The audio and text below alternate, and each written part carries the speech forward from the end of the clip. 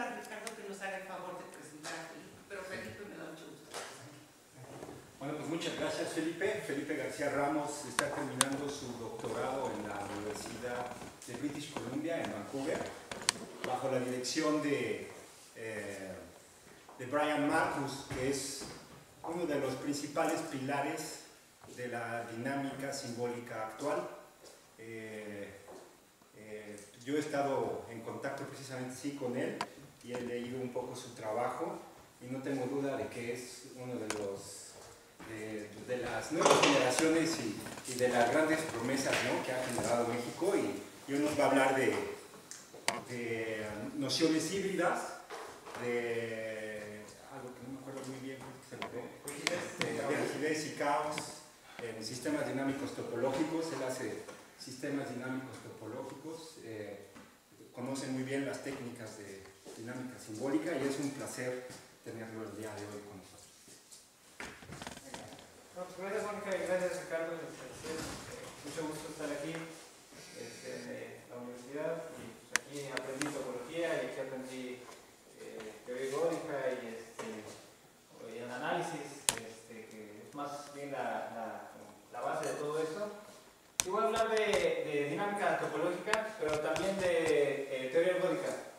Y a mí eh, la parte que más me interesa es eh, la mezcla entre, entre estas dos áreas hay mucho, eh, mucha intersección. Eh, primero voy a hablar de sistemas dinámicos topológicos.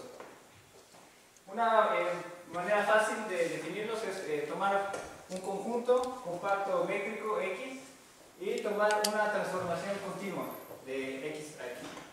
Uno se puede imaginar que tiene su conjunto X y tiene los puntos que se van moviendo en, en X.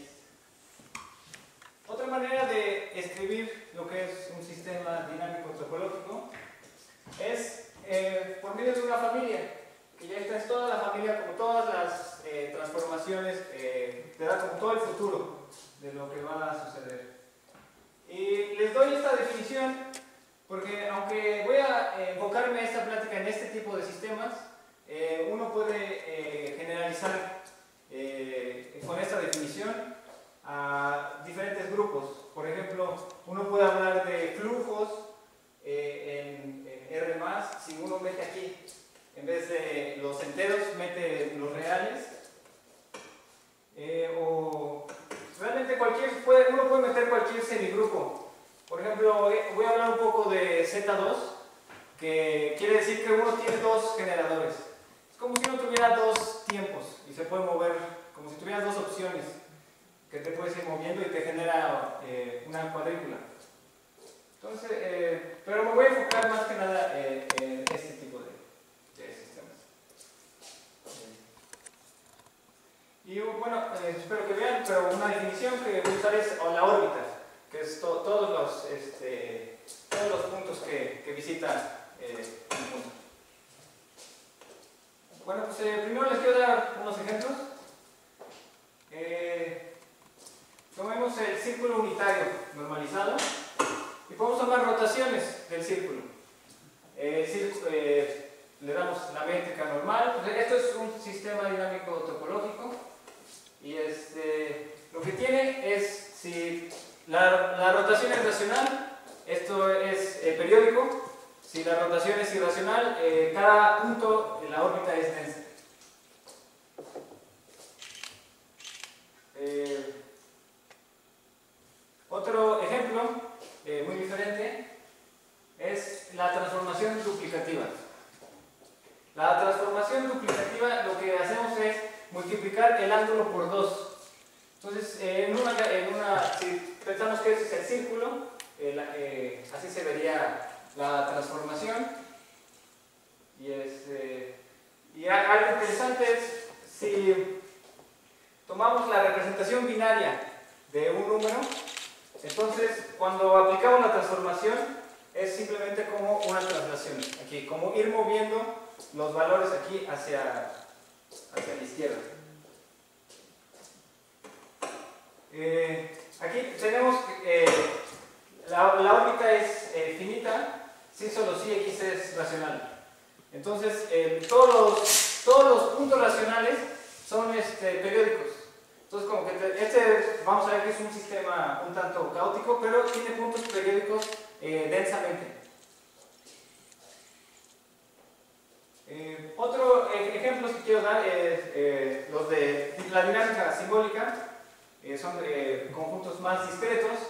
Tomamos un espacio de secuencias, eh, un espacio de cantos de secuencias, y vamos a darle la siguiente métrica, que es uno ve dos secuencias, uno ve cuál es el, eh, digamos, la distancia más larga donde las dos secuencias eh, son iguales y dividimos eso entre esa distancia, la, la- elevamos 2 a la m y esa este, va a ser, eh, y esta, esta métrica genera la, la topología producto de, de. Entonces, este, y ahora aquí la transformación, similar a, lo que pasaba con eh, la transformación duplicativa, es simplemente movemos la secuencia hacia la izquierda. Este se llama el, el shift, esta, esta acción. Entonces aquí ya tenemos un sistema dinámico topológico eh, eh, simbólico, eh, tomando conjuntos que son invariantes y compactos. Entonces, bueno, un ejemplo, pues, si siempre tomamos todo el, espacio, este es el, el A shift completo. Un ejemplo un poco más interesante es tomar todas las eh, secuencias que no tienen dos unos seguidos. Uno puede ver que este espacio es este, compacto y, y este espacio, eh, bueno, mi asesor me ha hablado mucho de él porque él eh, eh, tuvo un tiempo en IBM y platicando con la gente que usaba los floppy disk, les comentaron que los floppy disk no podían leer dos unos seguidos. Como que si veían dos unos seguidos no lo podían leer bien. Entonces tenían que codificar, eh, cuando uno ve un floppy disk, está codificado en eh, algo más o menos así. Entonces ahí había eh, conexiones con... bueno, quiero también mencionar un poco lo que pasa en dos dimensiones. Aquí tomamos este, z al cuadrado y ahora la acción es generada por moverse hacia la izquierda y moverse hacia abajo. Aquí hay muchísimos ejemplos, eh, les, quiero dar eh, uno en, particular. Es, uno toma ciertas piezas y esas piezas tienen eh, reglas de pegado. Aquí lo que pedimos es que las dos piezas encajen y si hay un gordito aquí, haya un gordito aquí. Por ejemplo, este encajaría con este. Entonces tenemos un conjunto finito de piezas y queremos que peguen este, y queremos poder pegarlas. Ahora queremos ver todas las, todos los mosaicos que, que se pueden generar con este conjunto de piezas y ese va a ser nuestro espacio. Estos espacios se conocen como chips de tipo finito. Tenemos una cantidad de piezas y reglas de pegado. Entonces, más o menos, estas eh, reglas eh, más o menos generan algo así. Y se llama el mosaico de, de Robinson. Entonces, aquí más o menos las piezas eh, están aquí. Las piezas, este espacio no es periódico, pero es muy, muy regular. Entonces, eh, ¿qué, es esa regularidad que estoy hablando? Cuando uno habla de rigidez, cuando uno habla de eh, que algo es predecible, bueno, quiere, decir que las, las configuraciones o las formas no varían mucho bajo la acción. Por ejemplo, cuando hablamos de rotaciones o isometrías, eh, eso eh, quiere decir más o menos, nos está diciendo que hay mucha rigidez. Y los sistemas dinámicos pues varían desde muy rígidos hasta eh, muy, caóticos. Yo le, le preguntaba a mi mamá qué es para ella que algo sea caótico. Y me dijo que algo así, más o menos. Y es, este es un ejemplo muy curioso. ¿Por, qué, por qué es, por qué esto es caótico? Bueno, esto es eh, caótico porque si uno ve una región del espacio, va a ser muy difícil predecir cómo se comporta otra región del espacio, inclusive cómo se comporta alrededor de, de esta región. Este caos que estamos viendo aquí es, eh, caos espacial. digamos, bajo las acciones de- del chip. Porque de hecho si uno piensa eh, temporalmente, esto no es caótico, esto es eh, un punto fijo. O bajo el tiempo aquí no, no está pasando nada. Entonces, eh, aquí se ve como cuando uno habla de sistemas dinámicos no siempre habla de tiempo. Uno igual puede meter este, dimensiones espaciales. Aquí hay otro ejemplo de, de caos en la Ciudad de México, cómo está formada la ciudad. Eh, entonces, ¿cómo podemos definir eh, caos eh, para sistemas dinámicos? Pues hay, muchísimas eh, formas, eh, pero una, una forma sencilla y, pero débil es lo que se conoce como sensibilidad o sensibilidad a condiciones iniciales. La definición matemática es que si tenemos un epsilon, tal que para todo conjunto abierto, imagínense que ese conjunto abierto es muy muy pequeño, vamos a tener dos puntos en el conjunto abierto y un punto en el tiempo donde estos dos puntos van a estar separados por ese epsilon. Y no importa qué tan pequeño sea A, siempre se van a separar por este epsilon. Esto ta- también se conoce eh, a veces como el efecto mariposa, que quiere decir que cambios muy pequeños pueden eh, generar cambios eh, muy drásticos o, drásticos en el futuro. Eh, algo, un ejemplo de esto es la transformación duplicativa. Porque este, en la transformación duplicativa, dos puntos pueden estar muy cerca, pero la cola puede, una cola lejana puede ser completamente diferente eh, cuando se escribe en binario. Entonces, en el momento que esta cola, uno empieza a multiplicar, en el momento que esta cola llegue al centro, ya los puntos van a estar muy separados. Entonces, aunque al principio hay control, después se pierde el control completamente y no importa qué tan cercanos estén los puntos. Eh, uno ve, por, ejemplo, hay sistemas eh, de física estadística, el modelo de Ising, eh, que tiene una variable de temperatura. Y cuando uno ve que cuando la temperatura baja, también el caos se reduce, las cosas se vuelven más ordenadas. Yo, yo he experimentado esto eh, personalmente cuando eh, me mudé a, a Canadá. Bajó la temperatura y así que las calles hablan. Entonces, bueno, eh, es- bueno, aquí vemos obviamente mucho orden, eh, mucho, eh, muy, muy periódico.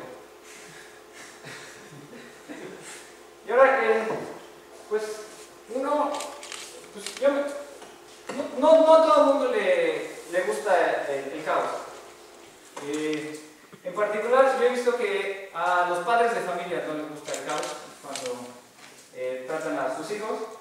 Y eh, yo pensé, ¿cómo, ¿cómo previenen los padres el, el caos? Bueno, aquí eh, una cita ¿no? de mi hermano que él me enseñó.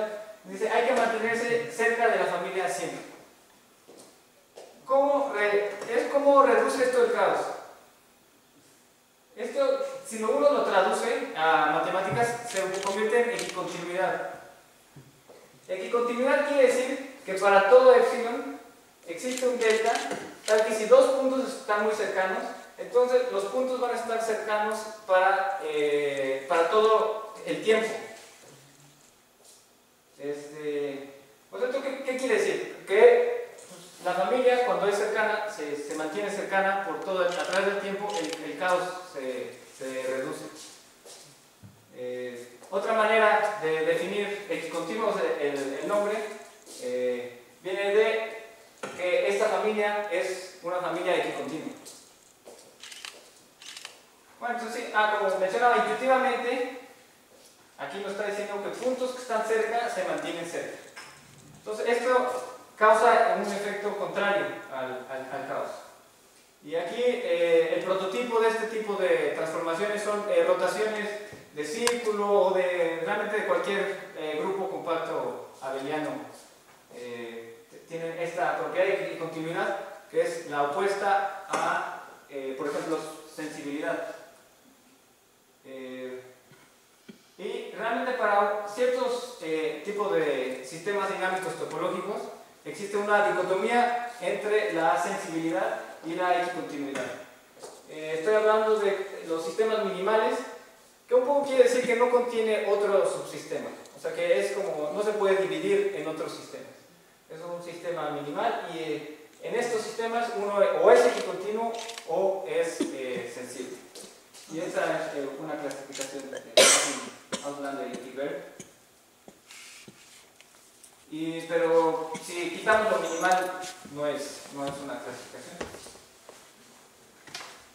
Bueno, eh, les quería hablar primero de sistemas dinámicos topológicos. Lo, lo, que quiero que ahorita se queden es lo que es un sistema dinámico topológico y lo que es la sensibilidad. Que quiere decir que puntos cercanos se van a separar por un epsilon. Ahora quiero hablar de eh, teorías Bodiker que estudia sistemas eh, dinámicos medibles, transformaciones que conservan una eh, medida. Entonces, un sistema dinámico medible, vamos a tomar una cuarteta, donde primero tenemos un espacio de probabilidad y luego tenemos una transformación que conserva la medida eh, Esta es otra categoría importante de los sistemas dinámicos. Y de hecho ya vimos dos ejemplos. Esta era, así se definía la acción duplicativa. Entonces, si uno tiene un conjunto aquí y tiene la medida de B y uno toma la preimagen, va a tener estos, obtiene estos dos conjuntos que también tienen la misma medida.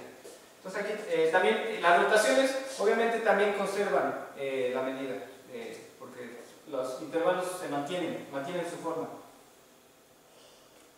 Oh, pero los más importantes son los eh, sistemas ergódicos, que son parecidos a los minimales, que quiere decir que no tienen subconjuntos, eh, sistemas eh, contenidos. aquí definimos ergodicidad si los conjuntos invariantes tienen o medida 0 o 1. Es decir, si tomamos un subespacio, entonces este subespacio o tiene medida 0 o tiene medida 1. Bueno, ahora quiero hablar un poco más de las técnicas que se usan en, en la teoría ergódica. Eh, la teoría ergódica fue fundada por eh, von Neumann y en un principio era, eh, estaba muy conectada con el, análisis funcional. y esto se hacía a través de un operador que se llama el operador de Koopman, que es un operador de L2 que lo que hace es que manda una función en la función compuesta con la transformación. Entonces, Neumann se dedicó a estudiar, ver a través del análisis funcional, ver cuánto, este, cuánta información podía extraer acerca de, los sistemas. Entonces, una cosa que uno estudia eh, para operadores es, son los valores propios. Entonces, y las funciones propias. En este caso, pues tenemos que las funciones eh, propias y valores propios van a satisfacer esta ecuación.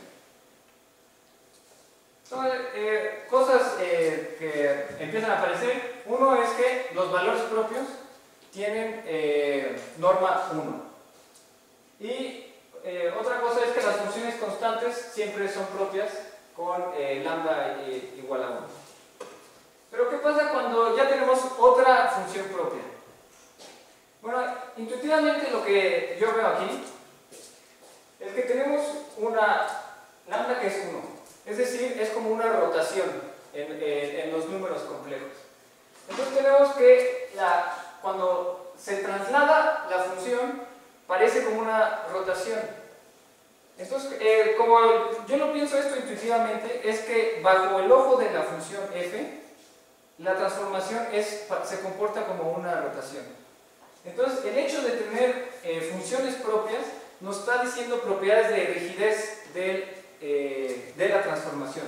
De hecho, hay unas transformaciones que se llaman eh, mixing, que mezclan, y esas transformaciones no tienen más que constantes de funciones propias. O sea, si, si un sistema es medio caótico, que las cosas se mezclan, entonces uno pierde las funciones propias.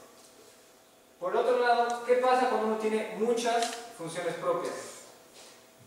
Bueno, esto es lo que se conoce como eh, espectro discreto. Espectro discreto quiere decir que una base en L2 formada por, eh, ah, eh, por funciones propias, no valores propios. Esto quiere decir espectro discreto. Entonces, espectro discreto quiere decir que hay muchas funciones propias, es decir, es una forma en cuanto a medida de rigidez, que no estoy diciendo, no, no cambian tanto las formas. Y bueno, de hecho, si uno toma rotaciones eh, de grupo, le mete la, la medida de Haar, este, uno obtiene eh, espectro discreto. Entonces, sí, intuitivamente sí, eh, sí nos está diciendo esto. Voy a hablar un poco, pero eh, se define un poquito distinto, pero también uno puede definir espectro discreto en flujos, en, en dos dimensiones, tres dimensiones. Uno define espectro discreto en muchas formas. Eh, y esta es una propiedad que no es tan fácil de, probar. Inclusive existen problemas abiertos de hace tiempo, como la conjetura de sistemas de episodio, donde la gente cree que tienen espectro discreto, pero no, no se puede probar.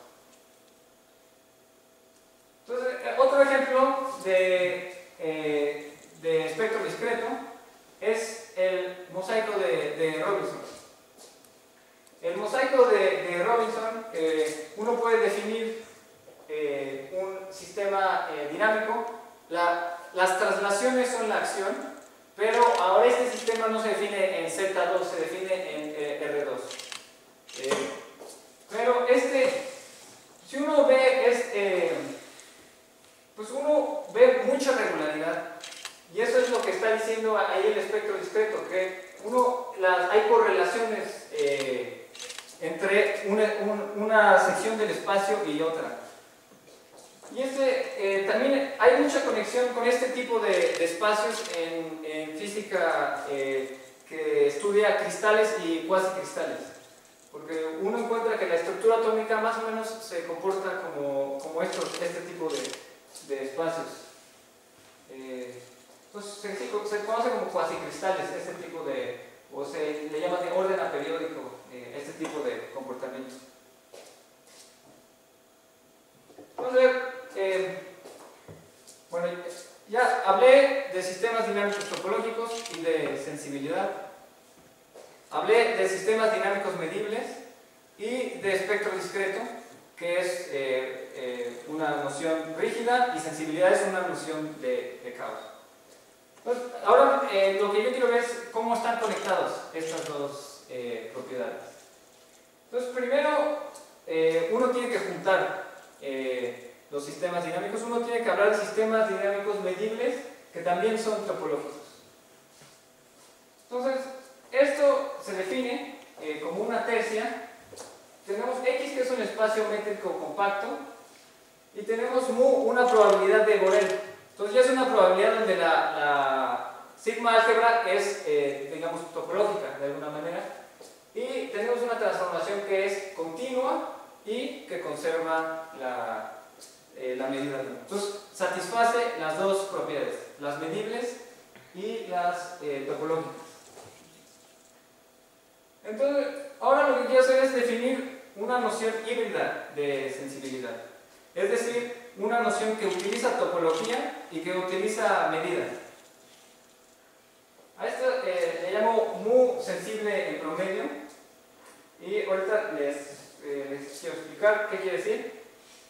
Tenemos una epsilon tal que para cada conjunto de Borel eh, de medida positiva existen dos puntos tal que este, este, esta es la eh, densidad eh, por arriba. Entonces, este, este, ahorita hay que ver este conjunto aquí. Este conjunto nos dice cuáles son eh, la cantidad, cuántas veces vamos a tener que dos puntos están separados por epsilon. Es decir, estamos viendo cuántas veces en el tiempo van a estar separados. Y le estamos pidiendo que este conjunto sea mayor que epsilon. Entonces es, es algo más fuerte. La sensibilidad es diferente en dos sentidos. Uno, la sensibilidad pide que dos puntos se separen una sola vez. Aquí estamos pidiendo que dos puntos se separen eh, muchas veces. De hecho, que tenga densidad eh, mayor que epsilon, la cantidad de veces que se separan. La otra diferencia es que en vez de tomar eh, conjuntos abiertos, estamos tomando conjuntos de Borel, De medida positiva. Esto quiere decir, donde quiera que haya eh, medida positiva, ahí vamos a encontrar dos puntos que se van a separar varias veces. esta es la definición de densidad suprema. Y ahora, este, este, es un resultado que si tenemos un sistema dinámico medible y topológico, también le, pedimos que es ergódico, entonces tenemos esta dicotomía entre espectro discreto y mu sensibilidad en promedio. Entonces, un, un, este, sistema o es el uno o es el otro, eh, y no, no, hay nada, no, no hay nada en medio. El, este, este eh, resultado es, eh, se puede, aplica también para acciones discretas, lo que es Z2.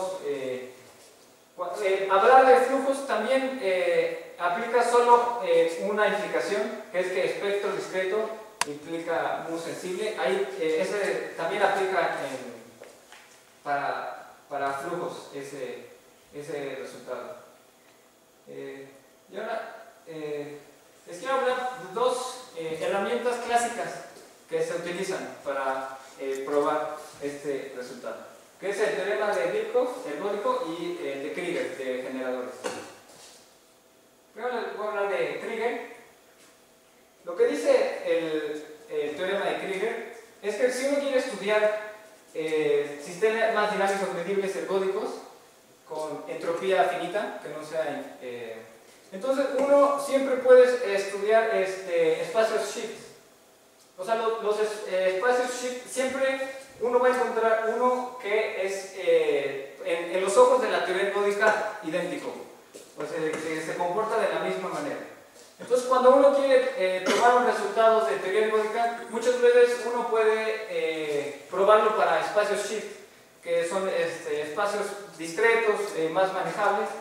Entonces, esta es una de las eh, herramientas que se usa. Y les quiero enseñar más o menos cómo funciona, eh, por ejemplo, cómo podemos transformar una rotación irracional en un espacio simbólico. Es decir, queremos codificar este, este espacio. Entonces lo que voy a hacer es, voy a separar eh, la rotación en dos partes. Esta parte le voy a llamar 1, la parte azul, y la parte negra eh, la vamos a llamar 0. Entonces ahora empezamos la rotación y empezamos a codificar la rotación. Rotó aquí, esta parte es 0. Se movió allá, sigue siendo 0. Ahí sigue siendo 0 y aquí regresa a 1. Entonces uno puede continuar codificando la, la rotación. Entonces, esta, esta, se conoce como una secuencia sturmiana.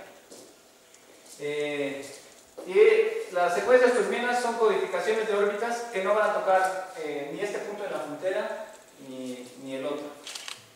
Entonces, eh, ¿y qué hacemos? Luego, ya que tenemos la secuencia infinita, lo que hacemos es que la cerramos en el espacio de cálculo. Tomamos la, cerradura de la secuencia sturmiana y tomamos la transformación que es el shift. Entonces ya tenemos un, un shift asociado a esta eh, transformación, lo codificamos.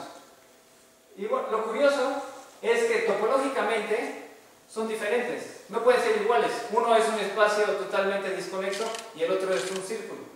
Y inclusive la, eh, la dinámica es diferente.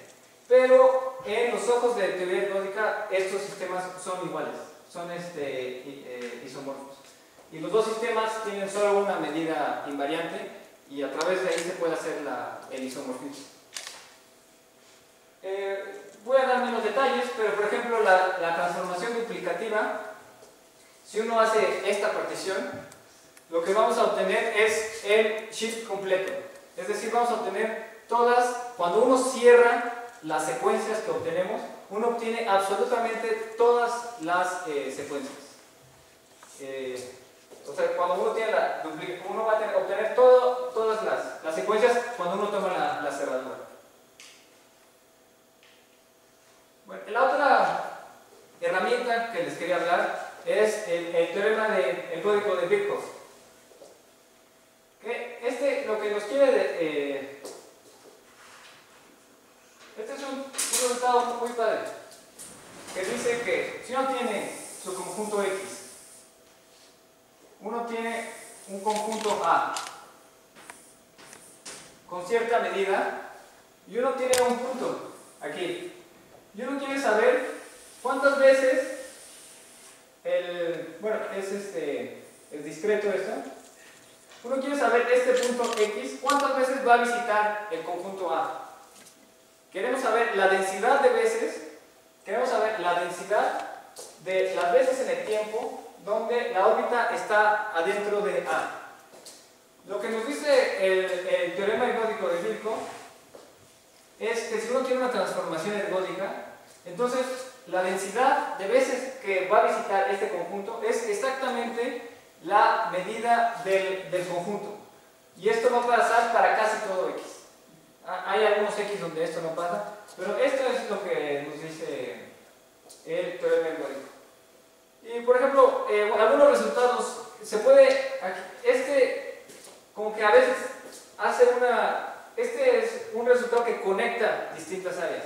Hay gente que usa este resultado para trabajar en, teoría de números, que porque quieren hablar de densidades o de distintos tipos de conjuntos, este, pero también se pueden obtener eh, resultados de, de probabilidad. Por ejemplo, tomemos la transformación duplicativa. Entonces tenemos aquí el círculo. Tenemos la, la medida del Lebesgue. Este conjunto era el 0. Este conjunto eh, tiene medida este, un medio. Entonces, lo que nos está diciendo es que eh, los puntos van a visitar este conjunto con densidad de un medio. Esto quiere decir que casi todo punto en X, cuando uno ve la representación binaria, entonces la mitad de los dígitos van a ser 0 y la otra mitad 1. Y este ya es un resultado que no es dinámico. Este es un resultado eh, puramente como de análisis y probabilidad. Nos está diciendo, si uno toma un círculo, toma la, probabilidad de la medida del Lebesgue, uno toma un punto, ve la codificación binaria, la mitad van a ser ceros, la mitad van a ser unos. Y la, eh, la teoría ergódica también da otro tipo de resultados. Por ejemplo, también otro resultado que podemos obtener eh, interesante es que casi todo punto, si uno ve la, expansión decimal del punto, uno va a ver absolutamente todas las configuraciones. Cualquier eh, configuración este, que uno vea es, ahí, eh, va a estar ahí este, presente. Eh, explicar? Okay. Les puedo hablar un poquito de eh, equicontinuidad eh, en promedio.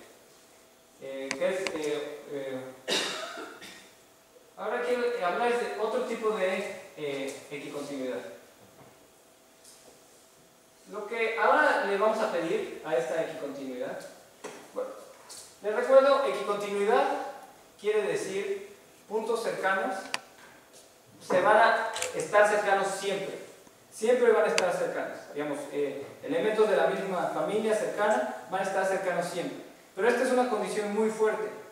Entonces, a veces lo que uno le pide, lo que le puede pedir es que no estén cercanos siempre, pero que en promedio, si uno toma el promedio, entonces est- eh, estos puntos van a estar cercanos en promedio. Esto quiere decir que va a haber algunas pequeñas veces que van a estar separados, pero que la mayoría del tiempo van a estar juntos. Entonces esto se llama equicontinuidad de promedio. Eh, es, eh, fue definida por eh, Fomil eh, hace el 51. Eh, lo llamaba estables en promedio. Es una, eh, es una definición más general, eh, ya que contiene a los sistemas equicontinuos. Y eh, lo que esto nos ayuda es podemos encontrar otra ca- caracterización de espectro discreto utilizando eh, una cosa que, se- que que no, la- no la quiero definir porque eh, toma, eh, requiere al- otras herramientas, pero aquí quiero decir que tomamos una noción híbrida de equicontinuidad en promedio. Es decir, metemos una eh, medida por ahí, este, o sea, realmente es que tampoco es para casi toda pareja, eh, pero to- tomamos un conjunto grande que se comporta así, y este es exactamente el, el tipo de comportamiento que uno espera para sistemas de espectro discreto. Y lo que les quiero decir es, ¿qué nos dice esto en, en dos dimensiones? Por ejemplo, en el mosaico de, de Robinson. Entonces, ¿qué quiere decir? Que dos puntos en un mosaico estén cercanos. Quiere decir, expliqué mucho, pero que existe un cuadrado muy grande donde la configuración en el cuadrado es muy parecida. O este, si es de este tipo, es idéntica. Entonces, y lo que nos va a decir que la distancia sea cercana en promedio, quiere decir que va a haber ciertos huecos que tienen densidad pequeña, donde no tenemos control. Pero toda la demás parte del espacio, uno puede adivinar qué es lo que va a suceder. Entonces, por ejemplo, vean esta configuración aquí. Imagínense que yo les doy un cuadrado grande y les digo, rellenen el resto. Lo que ustedes van a poder hacer es decir, bueno, con seguridad te puedo rellenar el 90% del espacio, pero van a quedar ciertos huecos donde, este, que, donde no tenemos control. Entonces, esto es este, este es el tipo de comportamiento que uno ve cuando tiene espectro discreto. Eh, y, bueno, eso es eh, todo lo que les quería comentar. Gracias por su atención.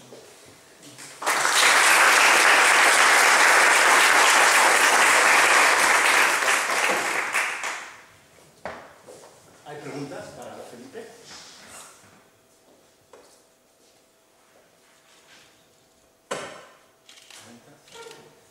Yo tengo una. Eh, esta interpretación que das de tener espectro discreto, que, que es como se comporta como corporación, ¿no tienes algún, alguna forma análoga de explicarnos qué quiere decir ahora espectro continuo? Ah, eh, Que es el 1, ¿no? Que Sí, que- bueno, espectro co- continuo eh, quiere decir este, eh, mixing, ¿no? Mixing. Como que se mezcla, sí. Sí. Y de hecho justo estoy trabajando en eso. Ah. Eh, te puedo explicar más o menos lo que creo que significa. O sea, solo las constantes son pues, funciones características, sí. ¿no? Es equivalente a espectro continuo. Sí. ¿no? Ok. Ajá. Sí, espectro continuo es lo opuesto al espectro discreto. Quiere decir que solo las funciones constantes son eh, eh, funciones propias. Es decir, son sistemas un tanto caóticos. Y eh, lo que yo creo que sucede es que si uno toma cualquier partición, uno tiene el conjunto X. Y uno toma cualquier partición de conjuntos de medida positiva. Y luego uno toma cualquier conjunto A de medida positiva. Entonces siempre vamos a tener dos puntos que, en U que van a estar separados por estas dos particiones en una densidad positiva de tiempo. Entonces si luego cambiamos la partición, también van a estar separados. Entonces, eso, eh, entonces como que nos está diciendo aquí que se está revolviendo. Y justo, este, bueno, los sistemas de, con espectro continuo se llama mixing, como que se mezclan. ¿Es equivalente eso? Sí, sí. eh, y entonces creo que este es, eh, es lo que estoy ahorita trabajando, pero creo que este es el, el comportamiento que, eh, que espero. Eh, sea que para cualquier partición, ajá. tú después de un cierto tiempo visitas por... Visita, ajá, tomas una- un conjunto aquí chiquito y cualquier partición, de repente un punto va a estar aquí y el otro acá, pero muchas veces. O sea, va a haber muchos, muchos tiempos donde justo este punto está aquí y este punto está aquí. Y luego se, están así y luego otra vez y otra vez. Y esto, esta cantidad de tiempo tiene densidad eh, positiva. Eso, eso, es, eso es espero de,